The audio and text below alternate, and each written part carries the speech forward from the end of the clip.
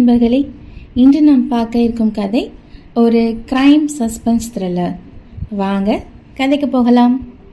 அத்தியாயம் ஒன்று. அதிகாலை ஐந்து மணி. வீடுகளுக்கும் கடைகளுக்கும் அனுப்ப பால் பாக்கெட்டுகளை சுமந்து செல்லும் வண்டிகளும் கோயம்பேடு மார்க்கெட்டில் இருந்து காய்கறிகளை சுமந்து செல்லும் வண்டிகளும் பயணித்துக் கொண்டிருந்த அவ்வேளையில் வயிற்றில் தேங்கியிருந்த கொழுப்பை குறைக்க பால்ராஜின் கால்கள் சாலையில் பயணித்துக் கொண்டிருந்தன. பல்லாவரத்தையும் துறைப்பாக்கத்தையும் இணைக்கும் சாலையில் ஓடிக்கொண்டிருந்தார் பால்ராஜ். அவருடைய தொந்தி குலுங்கி குலுங்கி நடனமாடிக்கொண்டிருந்த வேளையில் அவருடைய கைபேசி ஒலித்தது. சார் சொல்லுங்க சார் என மூச்சு வாங்கியபடி பால்ராஜ் பேசினார். எங்கே இருக்கீங்க? காமாஜி ஹாஸ்பிட்டல் கிட்ட வந்துக்கிட்டே இருக்கேன். நான் பாலாஜி நகர் கிட்டே இருக்கேன். Super sir. வாங்க நான் வர்றதுக்கும் நீங்கள் வர்றதுக்கும் கரெக்டாக இருக்கும். ஆமாம் சார் இன்னும் ஒரு டென் மினிட்ஸில் பள்ளிக்கரண மேம்பாலம் ஜங்ஷன் கிட்ட மீட் பண்ணுவோம். இன்னும் ஒரு டென் மினிட்ஸில் ஓகே சார் என ஃபோனை வைத்தார் பால்ராஜ். மீண்டும் அவருடைய கால்கள் நகர தொந்தி குலுங்க துவங்கியது. அவர் நகர துவங்கிய அதே நேரத்தில் அவருக்கு பின்னால் வந்து கொண்டிருந்த ஒரு ஆட்டோவும் இவரை நோக்கி சிறிது வேகமாக நகர துவங்கியது. சிறிது நேரத்தில் இருள் சூழ்ந்த பகுதி வரவும் ஆட்டோ பால்ராஜை கடந்து அவர் முன்னால் வந்து நிற்கவும் சரியாக இருந்தது. தன் முன்னால் நின்ற ஆட்டோவை பார்த்து திகைத்தார் பால்ராஜ். யாருப்பா அது? என் முன்னாடி வந்து ஆட்டோவை நிறுத்துற எதிர்த்தரப்பில் இருந்து மௌனம் நிலவ பால்ராஜ் கோபமாகி கத்தினார். கண்ணு தெரியலையா? நான் சொல்றது கேட்கல செவிடா? யாருன்னு கேட்குறேன்ல என கத்தி முடிக்க அவர் பின்னால் ஏதோ சத்தம் கேட்டது. பால்ராஜ் பின்னால் திரும்புகையில் அவர் முன்னால் இருந்து இரும்பு கம்பி அவர் மண்டையை தாக்க குருதி கொப்பளிக்க கீழே விழுந்தார் பால்ராஜ். இன்னைக்கு டாப் லெவல்ல என்ன பண்ண போறீங்க நவீனா? என கேமராமேன் குமார் கேட்க நேற்று படித்த தகவல்களை அசை போட்டு கொண்டிருந்த நவீனா அவனுடைய கேள்விக்கு பதில் சொல்ல ஆயத்தமானாள். உலகத்திலேயே ரொம்ப பயங்கரமான இடங்களை பத்தி சொல்ல போறேன். இப்படி கொலை கொள்ளை ரத்தம் பயம் பயங்கரம்னு படிக்கிறீங்களே உங்களுக்கு பயமா இல்லையா? முதல்ல லேசா பயமா இருந்துச்சு அதுக்கப்புறம் பழகிடுச்சு. செம. ஆனா தான் மக்கள் விரும்பி பார்க்குறாங்க. ஆமாம் குமார். எல்லாருக்கும் த்ரில் தேவைப்படுது. அதை நாம் கொடுக்குறோம். கண்டிப்பாக இன்னும் ஒரு டூ வீக்ஸில் சேனல் அஞ்சு லட்சம் சப்ஸ்கிரைபர் வந்துடுவாங்க. ஆமாம் மாஸ் தான். சினிமா சான்ஸ் ஏதாவது வருதா? சினிமா சான்ஸ்லாம் வரலை. டிடெக்டிவ் வேலை தான் வருது. ஏற்கனவே அதுதானே பண்ணிக்கிட்டு இருந்தீங்க? ஆமாம் இப்போவும் அதுதான் பண்ணிக்கிட்டு இருக்கேன். இந்த மாதிரி நிறைய படித்தா நமக்கு சிந்தனை விரிவடையும். ஒரு பிரச்சனையை எல்லா கோணத்துலேயும் ஆராய உதவியாக இருக்கும். அதை தாண்டி ஒரு பப்ளிசிட்டியும் கிடைக்குதுல்ல? கரெக்டு தான். என கேமரா ஆங்கிளை சரியாக வைத்து ஐஎஸ்ஓவை அட்ஜஸ்ட் செய்து ரோலிற்கு தயாரானான் குமார். ரோல் போடவா? போலாம். ரோலிங் ஆக்ஷன் அனைவருக்கும் வணக்கம். இன்னைக்கு நம்ம டாப் லெவன் நிகழ்ச்சியில் இதை பற்றி பார்க்க போகிறோம்னா உலகத்திலேயே ரொம்ப பயங்கரமான பதினோரு இடங்களை பார்க்க போகிறோம் நாம் முதல்ல பார்க்க போகிறது பிரேசில் கடற்கரையிலிருந்து இருபத்தைந்து மைல் தொலைவில் இருக்கக்கூடிய பாம்பு தீவு பற்றி தான் அங்கே எந்த உள்ளூர் வாசிகளும் போக பயப்படுவாங்க. தீவுக்கு பக்கத்துல போன கடைசி மீனவர் ஒருத்தர் சில நாட்களுக்கு பிறகு தன்னோட படகுல ரத்த வெள்ளத்துல உயிரற்ற நிலையில் காணப்பட்டதாக எல்லாரும் சொல்றாங்க. அத்தியாயம் இரண்டு. எஸ் ஃபைவ் பல்லாவரம் போலீஸ் நிலையம். இன்ஸ்பெக்டர் அகிலன் அன்றைய நாளிதழை படித்துக் கொண்டிருந்தார். அஜித் நடித்த திரைப்படத்தை பார்த்து அதே போல வங்கியை கொள்ளையடிக்கும் என்று நபர் திண்டுக்கல்லில் பரபரப்பு. இப்ராஹிம் இந்த செய்தியை பார்த்தீங்களா? பார்த்தேன் சார். சிரிக்கிறதா இல்ல கோவப்படுறதா? இல்ல இவங்க அறியாமையை நினைச்சு பரிதாபப்படுறதான்னு தெரியல சார். நீங்க ஒரு விஜய் ரசிகர் தானே இப்ராஹிம்? ரசிகர்னு சொல்ல முடியாது. ஆனா பிடிக்கும். ம். அப்போது விஜயை பிடிக்கிறவரை அந்த சம்பவத்தை நினச்சி சிரிச்சுக்கோங்க. ஒரு போலீஸ் அதிகாரியாக கோவப்படுங்க. ஒரு சக மனுஷனா அவனுடைய அறியாமையை நினச்சி பரிதாபப்படுங்க. ஒரே கல்லில் மூணு மாங்கா. ஆஹா உங்ககிட்ட பேசுகிறப்ப யோசிச்சு தான் பேசணுங்கிறத மறந்துட்டேன் சார். குண்டக மண்டக்காக சொல்லலை ஒரு மனிதனுக்கு பல பக்கங்கள் இருக்கும்ல இப்ராஹிம். அது உண்மைதான் சார். நாம நமக்கு வர்ற கேஸை இந்த கோணத்தில் தான் யோசிக்கணும். யோசிச்சுக்கிட்டும் இருக்கோம். ஆமாம் சார். உங்களுக்கு வீட்டில் பொண்ணு பார்த்துக்கிட்டு இருந்தாங்களே என்ன ஆச்சு போய்கிட்டே இருக்கு சார் போலீஸுங்கிறதால பொண்ணு கொடுக்க பயப்படுறாங்களா? எல்லாத்துலேயும் பாசிட்டிவும் இருக்குது நெகட்டிவும் இருக்குல்ல சார் நீங்கள் சொன்னது தான் அதே மாதிரி தான் இந்த தொழிலிலும். அதனால் நல்ல பொண்ணாக மனசுக்கு பிடிச்ச மாதிரி பார்த்துக்கிட்டு இருக்கேன் சார் மனசுக்கு பிடிச்ச மாதிரியா இல்லை வீட்டுக்கு பிடிச்ச மாதிரியா? ரெண்டும். அப்படின்னா புரியலையே இப்ராஹிம். எனக்கும் பிடிச்சிருக்கணும் வீட்டுக்கும் பிடிச்சிருக்கணும். வீட்டுக்கு எப்படிப்பட்ட பொண்ணு பிடிக்கும்னு நான் சொல்லவா? சொல்லுங்க சார். சமையல் அறையில் இருந்துக்கிட்டு சோறாக்கி கொடுத்துக்கிட்டு குழந்தை பெற்று கொடுத்துக்கிட்டு வீட்டை பார்த்துக்கிட்டு இருக்கிற அடக்கம் ஒடுக்கமாக இருக்கிற ஒரு மெஷின் தானே எல்லா வீட்டிலையும் பிடிக்கும்? என்ன சார் இப்படி சொல்லிட்டீங்க? இதுதான் இந்தியாவில் இருக்கிற பெரும்பான்மை வீட்டோட எதிர்பார்ப்பு. என அகிலன் சொல்லி முடிக்கும் போதே ஒரு நாற்பது வயது மதிக்கத்தக்க பெண்மணி ஒருவர் ஸ்டேஷனுக்குள் பரபரப்பாக உள்ளே வந்தார். சொல்லுங்க. சார் என்னோட ஹஸ்பண்ட் காலையில் ஜாகிங் போனாரு சார் இன்னும் வீட்டுக்கு வரல. கால் பண்ணால் ஃபோன் ஸ்விட்ச் ஆஃப்னு வருது. ரொம்ப பயமாக இருக்குது சார் பதட்டப்படாதீங்க. உட்காருங்க. என அகிலன் கூற இப்ராஹிம் அந்த பெண்மணியை விசாரிக்க துவங்கினார். எங்கே ஜாகிங் போவார்? காமாட்சி ஹாஸ்பிட்டல் கிட்ட இருந்து துறைப்பாக்கம் ரோட்டில் தினமும் ஜாகிங் போவார் சார் போயிட்டா கரெக்டாக ஏழரைக்கெல்லாம் வந்துடுவார் ஆனால் இன்னைக்கு வரல சார் வார்த்தைகளில் ஒரு படபடப்பு தெரிந்தது. எத்தனை மணிக்கு வீட்டில் இருந்து கிளம்புனாரு? உங்கள் வீடு எங்கே இருக்கு? காமாட்சி ஹாஸ்பிட்டல்ல இருந்து ஒரு ரெண்டு கிலோமீட்டரில் சுப்பிரமணியம் நகரில் இருக்கு சார். எங்கே ஒர்க் பண்ணுறாரு செருப்பு கடை வச்சுருக்காரு சார். அது எங்கே இருக்கு? அது பல்லாவரம் பஸ் ஸ்டாப் கிட்டே இருக்கு சார். அவருக்கு யாராவது எதிரிகள்? அந்த மாதிரி எனக்கு தெரிஞ்சு யாரும் இல்லை சார். அவரோட நம்பர் அங்க அடையாளங்களை தெளிவாக எழுதி கொடுங்க. முடிஞ்ச அளவு சீக்கிரமா கண்டுபிடிக்கிறோம். என இப்ராஹிம் சொல்ல அந்த பெண்மணி டேபிளில் இருந்த நோட்டை எடுத்து எழுத துவங்கினார். அந்நோட்டில் அப்பெண்மணியின் கையில் இருந்த பேனா முனையிலிருந்து நீல நிற வண்ணமை கசிந்து கொண்டிருந்த அதே நேரத்தில் அப்பெண்மணியின் கணவரின் கழுத்து அடிபட்டு சிவப்பு நிற குருதி கசிந்து கொண்டிருந்தது. அத்தியாயம் மூன்று. தாம்பரம் எம்எல்ஏ குணசேகரின் அலுவலகத்தின் முன்பு சிறிது கூட்டம் காணப்பட்டது. பதாகைகளை கையில் ஏந்தி கொண்டு சில பெண்களும் இளைஞர்களும் நின்று கொண்டிருந்தனர். அவர்களுக்கு தலைவனாய் துரை நின்று கொண்டிருந்தான். கைது செய் கைது செய் போதைப் பொருளை விநியோகம் செய்யும் எம்எல்ஏவை கைது செய் தடை செய் தடை செய் குட்கா கஞ்சா போன்ற போதைப் பொருட்களை தடை செய். வழிவிடு வழிவிடு அடுத்த தலைமுறையை திசை திருப்பாமல் நல்ல பாதைக்கு அழைத்துச் செல்ல வழிவிடு என அடுத்தடுத்து வாசகங்கள் பாடப்பட சிறிது நேரத்தில் போலீசார் அங்கே வந்தனர். என்னப்பா எங்க கலாட்டா? ஏன் எம்எல்ஏ வீட்டு முன்னாடி இப்படி கற்றுக்கிட்டு இருக்கீங்க? கத்திக்கிட்டு இருக்கோமா? சார் இவர் தான் இந்த ஏரியா சுற்றி இருக்க எல்லா பெட்டி கடைக்கும் தடை செய்யப்பட்ட போதைப் பொருளை சப்ளை பண்ணுறாரு ஒரு மக்களோட பிரதிநிதி இப்படி மக்களுக்கே எதிராக இருக்கலாமா? இதில் பாதிக்கப்படுறது பள்ளியில் படிக்கிற மாணவர்களும் கல்லூரி மாணவர்களும் தான். இவரை கைது பண்ணி சிறையில் அடித்து இவர் மூலமாக சப்ளை செய்யப்படுற போதைப் பொருள் தடுக்கணும் சார் என துரை கூற இன்ஸ்பெக்டர் சிறிது டென்ஷன் ஆனார். அப்படின்னா போலீஸ் ஸ்டேஷனில் வந்து கம்ப்ளைண்ட் கொடுக்காம ஏன் இங்கே வந்து போராடிக்கிட்டு இருக்கீங்க? சார் ரெண்டு டைம் ஏற்கனவே கொடுத்தாச்சு. ஆதாரத்தையும் உங்ககிட்ட கொடுத்தாச்சு. நீங்கள் கண்டுபிடிக்கவே மாட்டேங்கிறீங்க.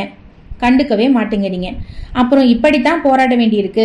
என நந்தினி கூற இன்ஸ்பெக்டர் என்ன சொல்வது என்று தெரியாமல் சிறிது யோசித்தார். இப்போ இங்கேருந்து கிளம்ப போறீங்களா இல்லையா? முடியாது சார் எங்களுக்கு ஒரு தீர்வு கிடைக்காம இங்கேருந்து போகிறதா இல்லை. என மீண்டும் முழக்கமிட்ட முழக்கமிட இன்ஸ்பெக்டர் சிறிது தொலைவில் இருந்த போலீசாரை பார்த்து தலையசைத்தார். சிறிது நேரத்தில் போராடி கொண்டிருந்தவர்களை குண்டுகட்டாக தூக்கி போலீஸ் வேனில் ஏற்றி அருகில் இருந்த மண்டபத்திற்கு அழைத்துச் செல்லப்பட்டனர். என்னப்பா ஆரம்பகம் கும்பலை கலைச்சாச்சா? எல்லாரையும் கலைச்சாச்சு சார் யார் இந்த கூட்டத்தில் தலைவன்னு கண்டுபிடிச்சு ஒரு மிரட்டு மிரட்டி விடு. துரைன்னு ஒரு auto driver sir auto driver இந்த வேலையெல்லாம் பார்க்குறானா சார் ஆட்டோ டிரைவர்னா வெறும் ஆட்டோ மட்டும் ஓட்டலை. நல்லா படித்த பையன்தான். சமூக சேவை பண்ணுறேன்னு ஆட்டோ ஓட்டிக்கிட்டு இருக்கான். அவன் தான் எல்லாத்தையும் மோப்பம் பிடிச்சி நம்மக்கிட்ட வம்பு எடுத்துக்கிட்டு இருக்கான். ஏற்கனவே சொல்லி பார்த்தாச்சு. அடங்குற மாதிரி இல்லை. படித்த திமிரு. நாலு தொகுதிக்கு இடைத்தேர்தல் ஒன்றா வர வரப்போகுது. அது வரைக்கும் இவங்க மேலே எதுவும் கை வைக்க வேணாம். படித்த பசங்க. இன்னைக்கு யூடியூப் ஃபேஸ்புக்குன்னு ஏதேதோ பண்ணுறானுங்க அதனால இடைத்தேர்தல் முடியட்டும். அப்புறம் இவனுங்களுக்கு பாயாசம் போட்டுருவோம். கண்டிப்பாக சார். நான் பேசி கலைச்ச விட்டுடுறேன் சார். ஒரு வாரத்துக்கு நம்ம பசங்களை சப்ளை பண்ண வேணாம்னு சொல்கிறேன் எதிர்க்கட்சி வேற கொஞ்சம் மோபம் பிடிச்சிட்டானுங்க. அதனால் இனிமே இருக்காதுன்னு அவங்கள அனுப்பி விடியா. கண்டிப்பா சார் என இன்ஸ்பெக்டர் சொல்ல எதிர்முனையில் அழைப்பு துண்டிக்கப்பட்டது. மண்டபத்திற்கு வெளியே நின்று கொண்டிருந்த இன்ஸ்பெக்டர் உள்ளே கைது செய்ய செய்து அமர வைக்கப்பட்டிருந்த போராட்டக்காரர்களிடம் பேச துவங்கினார்.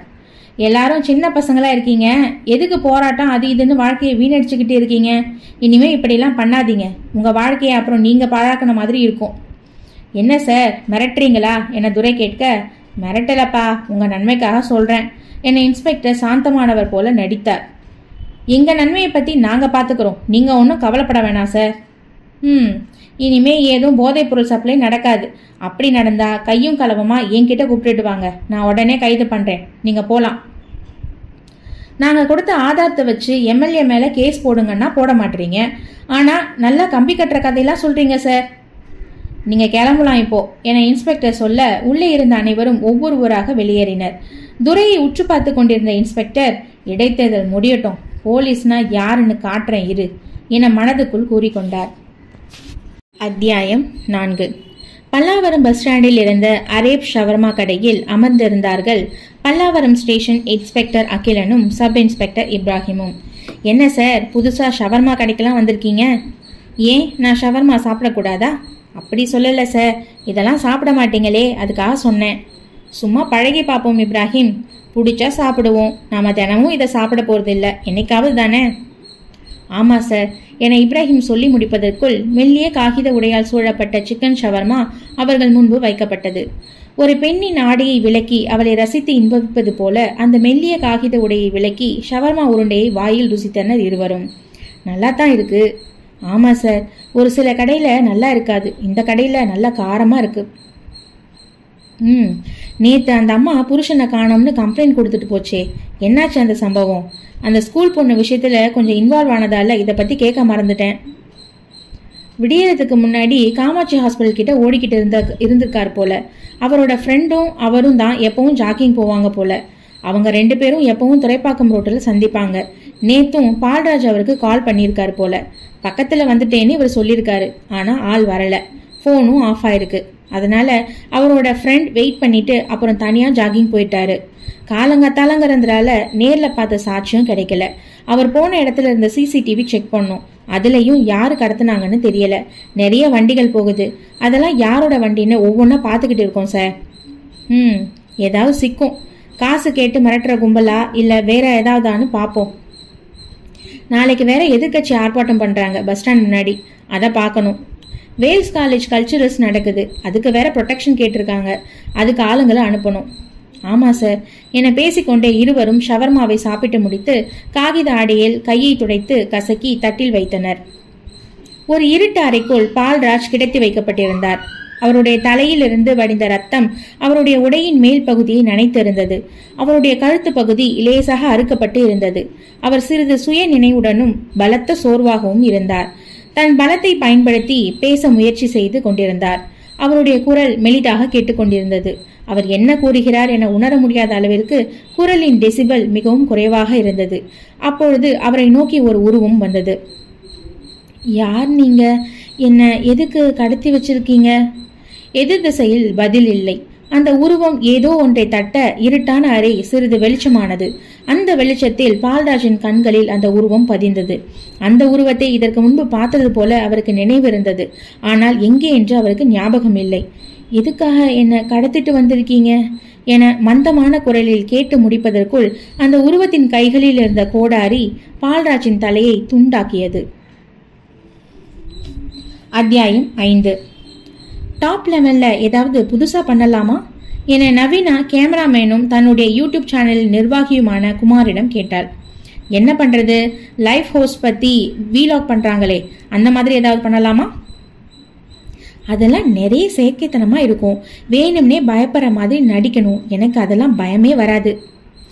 மலை அடிவாரத்தில் போய் படுத்துக்கிட்டு நைட்டு நேரத்தில் விலங்கு கத்துற மாதிரி ஒரு சவுண்ட் போட்டு பயமுறுத்தலாம். செம மொக்கையாக இருக்குது முடிஞ்சு போன கதையை திரும்ப சித்தரிக்கப்பட்டவை மாதிரி உருவாக்கி பயத்தை உண்டாக்கலாம். சரியான கிரிஞ்சுடா நீ. அடா போம்மா என்ன சொன்னாலும் ஏதாவது சொன்னா என்னதான் பண்ணுறது எனக்கு ஒரு ஐடியா இருக்கு. கரண்ட்ல நடந்துக்கிட்டு இருக்க ஏதாவது ஒரு கேஸை எடுப்போம். அதுக்கு சொல்யூஷன் கண்டுபிடிப்போம். அதுக்கு தான் போலீஸ் இருக்கு. நமக்கு எதுக்கு அந்த வேலை? முடிஞ்சு போன கேஸை எடுத்து அதை திரும்ப உருவாக்குறத விட முடியாத கேஸை எடுத்து அதை நாமளே முடிக்கிறத ஒரு கண்டென்ட்டா பண்ணுவோம். செமையா இருக்கும். புதுசா இருக்கும்.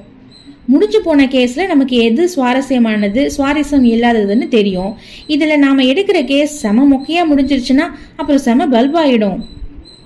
இது ஒரு நல்ல அலசல். அதுக்கு தான் நம்ம மூளையை பயன்படுத்தி நம்ம உள்ளுணர்வை பயன்படுத்தி தேடணும். போலீஸுக்கு கூட அது மொக்க கேஸ் மாதிரி தெரியலாம். ஆனால் அது ரொம்ப நல்ல கேஸாக இருந்திருக்கும். அவங்க இருக்கிற டென்ஷனில் மறந்துருப்பாங்க. இல்லை கவனிக்காமல் விட்டுருப்பாங்க. அதை கரெக்டாக கேட்ச் பண்ணி நம்ம ஸ்கோர் பண்ணணும். சூப்பர். நிறைய ஒர்க் அவுட் பண்ணணும். நான் தான் டிடெக்டிவ் ஆச்சே அதை நாம் பார்த்துக்கலாம். உன்னோட ஃப்ரெண்ட் ஒருத்தர் பல்லாவரம் ஸ்டேஷனில் இன்ஸ்பெக்டராக இருக்காருன்னு சொன்னல ஆமாம் அகிலன். என்னோட காலேஜ் ஃப்ரெண்ட் அவன் சப் இன்ஸ்பெக்டர் ஆன பின்னாடி அவனோட மொதல் கேஸில் நானும் அவனும் ஒன்றா சேர்ந்து ஒரு கேஸ் பண்ணணும். அதுக்கப்புறம் நான் ஊர் ஊராக சுற்ற ஆரம்பிச்சிட்டேன். அதனால் அவன் கூட பெருசாக டச் இல்லை. ரெண்டு வருஷத்துலேயே இன்ஸ்பெக்டராக ஆயிட்டான். அவரை பிடிச்சி ஏதாவது கேஸ் இருக்குதான்னு பாருங்க. திரும்ப பேசணும். எப்படி மாறியிருக்கான்னு தெரியல. பேசுகிறேன் சூப்பர் நல்ல கேஸ் எடுக்கிறோம். ட்ரெண்ட் ஆகுறோம். மாஸ் பண்ணுறோம் இன்னும் ரெண்டு மாதத்தில் ஒன் மில்லியன் சப்ஸ்கிரைபர் பிடிக்கிறோம். தட்டுறோம். தூக்குறோம்.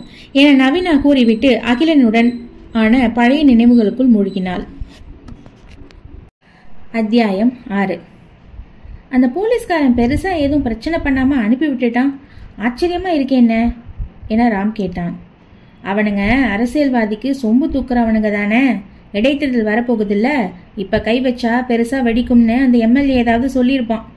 ஓ வாய்ப்பு இருக்கு என்ன நாம் அவனோட மெயின் பிஸ்னஸ்லேயே கை வச்சுருக்கோம். அதனால் சும்மா இருக்க மாட்டான். ஏதாவது பிரச்சனை கொடுத்துக்கிட்டே இருப்பானுங்க. நேர்முகமாவோ இல்லை மறைமுகமாவோ. ஆமாண்ணே உங்ககிட்ட ஒன்று கேட்கணும் என்ன? நல்லா படிச்சிருக்கீங்க. நல்ல அறிவு இருக்குது ஆனால் ஏன் ஆட்டோ ஓட்டுறீங்க?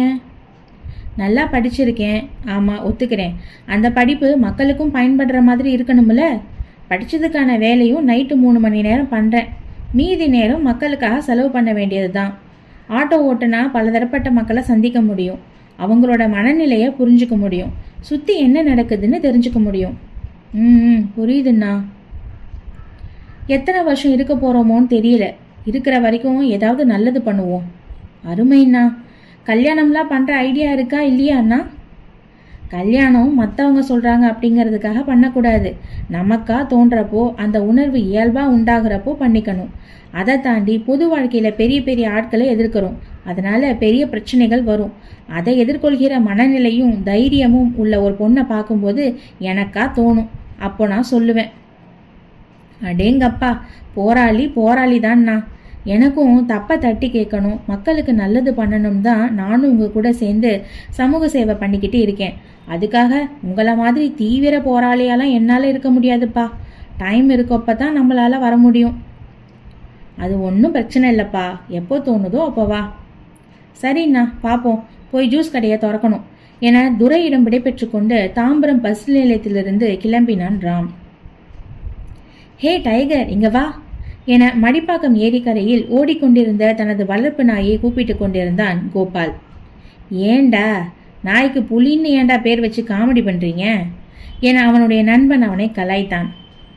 ஆதி காலத்தில் அழிக்கப்பட வேண்டிய ஜோக்கெல்லாம் இன்னும் வச்சிருக்கியடா பூமரங்கள் என பதிலுக்கு அவனை கலாய்த்தான் கோபால். உன் ஆளுக்கிட்ட ப்ரப்போஸ் பண்ணிட்டியா? இல்லடா எப்படி சொல்கிறதுன்னு தெரியல. இந்த நியூ இயரில் சொல்லிடுறேன்னு சொன்னேன் நியூ இயர் வந்து ஒரு வாரம் ஆக போகுதேடா. சொல்லணும்னு தினமும் நைட்டெல்லாம் ப்ரிப்பேர் ஆகுறேன். ஆனால் நேரில் பக்கத்தில் நின்னாவே பயமாக இருக்குது ஏதாவது சர்ப்ரைஸ் பண்ணுடா. என்ன சர்ப்ரைஸ் பண்ணுறது இந்த சர்ப்ரை இந்த சர்ப்ரைஸ் பண்ணுறதுக்குன்னே சில ஈவெண்ட் கம்பெனிகள் இருக்கே. அவங்கள பிடி. செமையாக பிளான் பண்ணி கொடுப்பாங்க. இப்போ எல்லாமே பிஸ்னஸ் ஆயிடுச்சுல? இங்கே ஐடியாவுக்கு தான் காசு. அதுவும் கரெக்டு தான் மாப்பிள்ள. நான் யாரையாவது தேடுறேன். இல்லைன்னா இன்ப அதிர்ச்சியாக கொடுக்காம ஏதாவது பயமுறுத்துற மாதிரி பண்ணலாமா? என கோபால் கேட்டான். பண்ணலாம். நான் கூட ஒரு வீடியோ பார்த்தேன். கொள்ளை கும்பல் மாதிரி வேஷம் போட்டுக்கிட்டு ஒரு பொண்ணை ஒருத்தன் கடத்தி வச்சுக்கிட்டு அப்புறம் பர்த்டேன்னு சர்ப்ரைஸ் பண்ணுவான். ஆமாடா அதுவும் நல்லா தான் இருக்கும். நான் அதிகமாக க்ரைம் சீரியஸ்லாம் பார்ப்பேன். அதில் வர்ற ஏதாவது ஒரு கேரக்டர் மாதிரி வேஷம் போட்டு நைட் டைமில் அவள் எங்கேயாவது தனியாக வர்ற நேரம் பார்த்து போய் பயமுறுத்திட்டு அப்புறம் ப்ரப்போஸ் பண்ணுறேன் என கோபால் சொல்லிக் கொண்டிருக்கும் போதே அவருடைய டைகர் ஏரி நீருக்குள் எதையோ பார்த்து பயங்கரமாக குறைத்தது ஹே டைகர் ஏன் இப்படி கத்துற? என கோபால் அதனுடைய தலையை வருடியதை பொருட்படுத்தாமல் நீருக்குள் குதித்தது டைகர். என்னடா புதுசா தண்ணீரெல்லாம் குதிக்குது வித்தியாசமா இருக்கு? தண்ணீருக்குள் குதித்த டைகர் நீருக்குள் மூழ்கி எதையோ கவ்வியது. மச்சி பெருசா ஏதோ மீன் சிக்கிருச்சு மீன் வேட்டை தான். என கோபாலின் நண்பன் சொல்லிக் கொண்டிருக்க நீருக்குள் மூழ்கி கவ்விய பொருளுடன் மேலே எழுந்த டைகரை பார்த்த கோபாலும் அவனுடைய நண்பனும் அதிர்ச்சி அடைந்தனர். மனிதனின் வெட்டப்பட்ட மணிக்கட்டு உறைந்த இரத்த துளிகளுடன் டை- டைகரின் வாயில் இருந்தது. அத்தியாயம் ஏழு. சார் மடிப்பாக்கம் ஏரியில தனியாக கட் பண்ணின கை மட்டும் கிடைச்சிருக்கு. பாத்தீங்களா சார் அந்த வீடியோ? என சப் இன்ஸ்பெக்டர் இப்ராஹிம் கேட்க அகிலன் ஆமோதிப்பது போல் தலையாட்டினார். பார்த்தேன் இப்ராஹிம். அந்த வீடியோ தான் சோஷியல் மீடியாவில் செம வைரல் ஆகிட்டு இருக்குது அந்த பகுதி மக்கள்லாம் கொஞ்சம் பயத்தில் இருக்காங்க போல். யார் தான் சார் பயப்பட மாட்டாங்க? எல்லா நியூஸ் சேனலும் அதை பற்றி தான் பேசிக்கிட்டு இருக்காங்க. நல்லதை விட கெட்டது தானே சார் ரொம்ப வேகமாக பரவும். அது உண்மைதான் இப்ராஹிம். மடிப்பாக்கம் இன்ஸ்பெக்டர் கிட்ட பேசுனேன். எனக்கு தெரிஞ்சவர் தான். என்ன சார் சொன்னார்? ஒரு முப்பது வயசு ஆளோட கை மாதிரி இருக்கு. கையோட கண்டிஷன் பார்த்தா ஏரியில போட்டு ஒரு ரெண்டுல இருந்து மூணு நாள் இருக்கும். வெறும் கை மட்டும்தான் போட்டிருக்காங்களா? இல்ல எல்லா பாடி பார்ட்ஸையும் போட்டிருக்காங்களான்னு தெரியல. அது யாரோட பாடின்னு கூடிய சீக்கிரமே கண்டுபிடிக்கணும்னு சொன்னாப்புல. நம்ம கிட்ட இருக்க காணாம போன கேஸ் பால்ராஜ் பத்தி எதுவுமே கிடைக்கலையே சார் அந்த கை கேஸும் இதுவும் ஒன்னா இருக்குமோ? இவரையும் அந்த மாதிரி யாராவது பண்ணுவாங்களோன்னு சந்தேகம் இருக்கு சார் முதல்ல அந்த கை யாரோடதுன்னு கண்டுபிடிக்கட்டும் இப்ராஹிம். நாம நம்ம சைட்ல தேடுவோம். அந்த கையோட நபருக்கும் பால்ராஜுக்கும் ஏதாவது தொடர்பு இருக்கான்னு தெரிஞ்சா இதையெல்லாம் யாரு பண்றாங்கன்னு புடிச்சிடலாம். ஏன்னா பால்ராஜ் சைட்ல இருந்து எந்த தடயமும் நமக்கு கிடைக்கல. ஆமா சார் பொறுத்திருந்து பார்ப்போம். ஆனா இந்த மாதிரி அடுத்தடுத்து நடக்குமா சார் உங்களுக்கு ஏதாவது தோணுதா சார் நடக்கலாம். நடக்காமலும் போகலாம். ஆனால் நடக்கும் அப்படிங்கிற கோணத்தில் தான் நாம் யோசிக்கணும். அந்த கோணத்தில் யோசிச்சாதான் அடுத்து என்ன நடக்கும் அப்படின்னு நம்ம மூளை யோசிக்கும். நடக்காதுன்னு விட்டுட்டோம்னா இதை பற்றி நம்ம மூளை யோசிக்கிறத நிறுத்திடும். செம சார். நானும் எனக்கு தெரிஞ்ச கோணத்தில் யோசிக்கிறேன் சார். குட். அப்புறம் தாம்பரம் எம்எல்ஏ போதைப்பொருள் விற்கிறதா எதிர்க்கட்சிகள் பேச ஆரம்பிச்சிருக்காங்க போலயே. ஆமாம் சார். நீங்கள் ரொம்ப ஸ்ட்ரிக்டாக அவருக்கு எதிராக பேசிட்டீங்க. எங்க ஏரியாவுக்குள்ள போதைப்பொருள் விற்கப்ப விற்கப்பட்டா நாங்கள் தடுப்போம்னு சொல்லிட்டீங்க. ஆனால் இந்த தாம்பரம் இன்ஸ்பெக்டர் தான் அந்த எம்எல்ஏவுக்கு சொம்பு அடிச்சுக்கிட்டு இருக்காப்ல. ஏதோ ஒரு ஸ்கூலில் ஏதோ ஒரு பையனோ இல்லை ஏதோ ஒரு காலேஜில் ஏதோ ஒரு பையனோ அதை சாப்பிட்டு கெட்டு போக போகிறான் நமக்கு எம்எல்ஏ கிட்டேருந்து ஒரு அமௌண்ட் வந்தால் போதும் அப்படின்னு நினைக்கிறவன் அந்த தாம்பரம் இன்ஸ்பெக்டர். அந்த ஏதோ ஒரு பையன் இடத்துல நம்ம பையனை வச்சு பாருங்க இப்ராஹிம். வலிக்கும்ல? அதனால தான் நான் வேணாம்னு சொன்னேன். ரொம்ப கரெக்ட் சார் இப்போ அந்த விஷயம்லாம் கொஞ்சம் கசிஞ்சு ஏதோ ஒரு அமைப்பு எம்எல்ஏ ஆஃபீஸ் முன்னாடி போராட்டம்லாம் பண்ணியிருக்காங்க சார் ஆமாம் இப்ராஹிம். இது இன்னும் வெடிக்கும் பாருங்க. வெடிச்சா நல்லதுதான் சார் என இப்ராஹிம் சொல்ல அகிலன் தன் மனதுக்குள் சில சமன்பாடுகளை வகுத்து கொண்டிருந்தார். அத்தியாயம் எட்டு. சொல்லுங்க ஃபாதர் என்னாச்சு? என தன்னுடைய அலுவலகத்தில் தனக்கு எதிரே அமர்ந்திருந்த கிருபை இல்ல ஃபாதரிடம் பேசிக்கொண்டிருந்தாள் நவீனா. நம்ம ஆர்ஃபனேஜில் பையன் ஒருத்தன் காணாமல் போயிட்டான். அது சம்மந்தமாக தான் உங்களை பார்க்க வந்திருக்கோம். போலீஸ்கிட்ட ஏதாவது சொல்லியிருக்கீங்களா? இல்லை நவீனா. லாஸ்ட் டைம் நம்ம ஹோமில் இருந்த ஒரு வயசானவர் தடுக்கி தண்ணி தொட்டியில் விழுந்து இறந்துட்டாரு.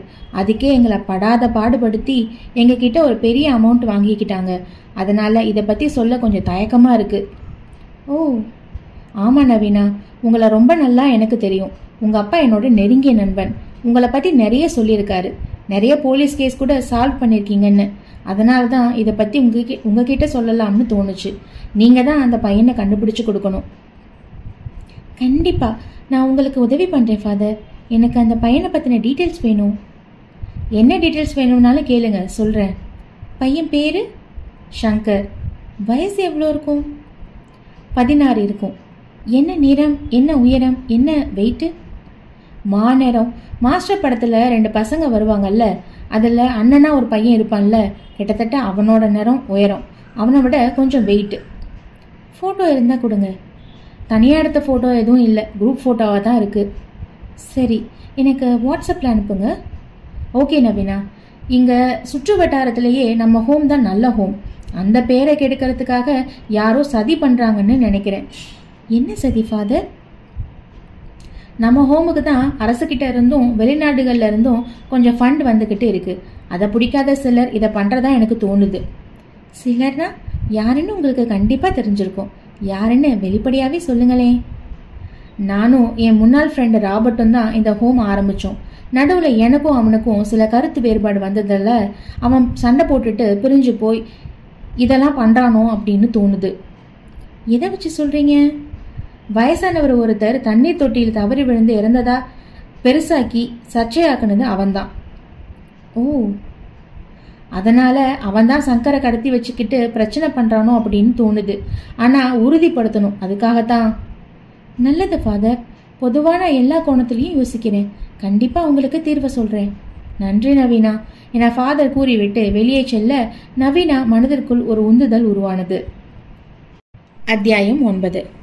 என்ன துரை அடுத்த போராட்டம் என்ன பண்ண போற? என துரையின் நண்பன் கேட்க லேப்டாப்பில் தீவிரமாக நோண்டிக் கொண்டிருந்த துரை அவன் நண்பன் ஷெர்லினை நோக்கி திரும்பினான். போராட்டம் பண்றதுக்காடா பிரச்சனை இல்லை. போராட்டம் பண்ணணும்னா ஒவ்வொரு மணி நேரத்துக்கும் ஒவ்வொரு பிரச்சனைக்கும் போராடலாம். அவ்வளோ பிரச்சனை இருக்கு நாட்டில். யாருக்காக போராடுறோம் எதுக்காக போராடுறோங்கிறது தான் விஷயம். புரியுது மச்சான். அந்த எம்எல்ஏ மேட்ரு அடுத்த கட்ட நடவடிக்கை என்ன? அவனுங்க இடைத்தேர்தல் காரணமாக ஏதும் பண்ணலை. ஆனால் அவன் பண்ணுற இந்த போதைப்பொருள் தொழில் பெரிய மார்க்கெட். அதனால் கண்டிப்பாக நிறுத்த மாட்டான். இப்போதைக்கு நிறுத்தி வச்சிருப்பான். இந்த கேப்பில் அவனுக்கு ஆப்பு வைக்கணும். வைடா மச்சான் பெரிய இடத்துலலாம் கை வைக்கிற கொஞ்சம் ஜாக்கிரதையா இருடா. அதெல்லாம் ஒன்றும் பிரச்சனை இல்லைடா. நம்மளால் சின்னதாக ஏதாவது மாறினாவே போதும்டா. இந்த காலத்தில் யாருடா சமுதாயத்தை பற்றிலாம் யோசிக்கிறா? அவனவன் மற்றவன் செத்தாலும் பரவாயில்ல. நாம நல்லா இருந்தால் போதும் அப்படின்னு நினைக்கிறானுங்க. இவனுங்களுக்கு மத்தியில் நீலாம் வேற லெவல்டா நன்றிடா. சரிடா நான் ஆஃபீஸ்க்கு போயிட்டு வரேன் சரிடா என துரை சொல்ல அவனுடைய நண்பன் ஷெர்லின் வெளியேறினான். அவனுடைய நண்பன் ஷெர்லின் வெளியேறியதும் துரை அவசரமாக கால் செய்தான். எல்லாம் ரெடியாராம் நாளைக்கு நைட் முடிச்சிடலாம்ல? முடிச்சிடலாம்னா எல்லாம் செட் பண்ணியாச்சு. இது வரைக்கும் பண்ணதிலேயே இதுதான் பயங்கரமாக இருக்கணும். எல்லாரும் அலறணும். ஆமாண்ணா. எல்லாம் ஆட்டோவில் தானே ரெடி பண்ணி வச்சுருக்கீங்க? ஆமாண்ணா. நாளைக்கு நாம் யாருன்னு காட்டுவோம். கண்டிப்பாண்ணா. என எதிர்முனையில் பதில் வந்ததும் கைபேசியை அணைத்தான் துரை.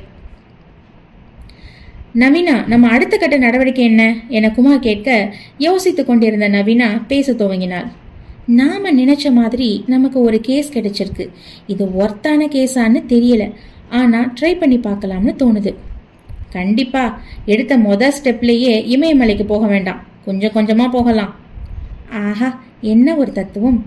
இதுவும் நல்ல கண்டென்ட் தான். எப்படி? காணாமல் போன பையன் கண்டிப்பாக ரெண்டு விஷயம் வச்சு கண்டுபிடிச்சிடலாம். ஒன்று இந்த ஃபாதரோட எதிரி ராபர்ட் கடச்சி கடத்தி வச்சிருக்கணும். இன்னொன்று அந்த பையனுக்கு இந்த ஹோம் பிடிக்காம ஓடி போயிருக்கணும். இது ரெண்டில் ஏதாவது ஒன்றா தான் இருக்கணும். இதில் நமக்கு என்ன நல்ல கண்டென்ட் கிடைக்கும்? அந்த பையனை கண்டுபிடிச்சி ஹோமில் சேர்த்து விட்டு அங்கே இருக்க வயசானவங்க மற்ற பசங்களாம் அவனை திரும்ப பார்த்து ஆனந்த கண்ணீர் விடுற மாதிரி எடுத்தோம்னா எமோஷ்னலாக ஹிட் அடிக்கலாம். நல்ல கமர்ஷியல் ஐடியா எல்லார்கிட்டையும் ஒரு ஃபைட் மாதிரி எடுத்து லாஸ்ட்டில் சென்டிமெண்ட் போட்டுடலாம். ஆமாம் சங்கரை கண்டுபிடிக்க நம்ம என்ன பண்ணணுங்கிறத த்ரில்லாக கொண்டு போகிற மாதிரி கொண்டு போயிட்டு எப்படி கண்டுபிடிச்சோம்னு ஒரு சஸ்பென்ஸ் கொண்டு வந்து லாஸ்ட்டில் எமோஷ்னலாக முடித்தா ஒரு படம் மாதிரி இருக்கும். சூப்பர் கமர்ஷியல் ஹிட்டு ஆமாம் நம்ம வேலையை ஆரம்பிப்போம். எங்கேருந்து ஆரம்பிக்கிறது? அந்த ஹோமுக்கு பக்கத்தில் இருக்க ஏதாவது பொட்டிக்கடையிலிருந்து. அத்தியாயம் பத்து. பல்லாவரம் நகராட்சி. இன்னைக்கு என்ன சமையல் பண்ணி எடுத்து வந்திருக்க?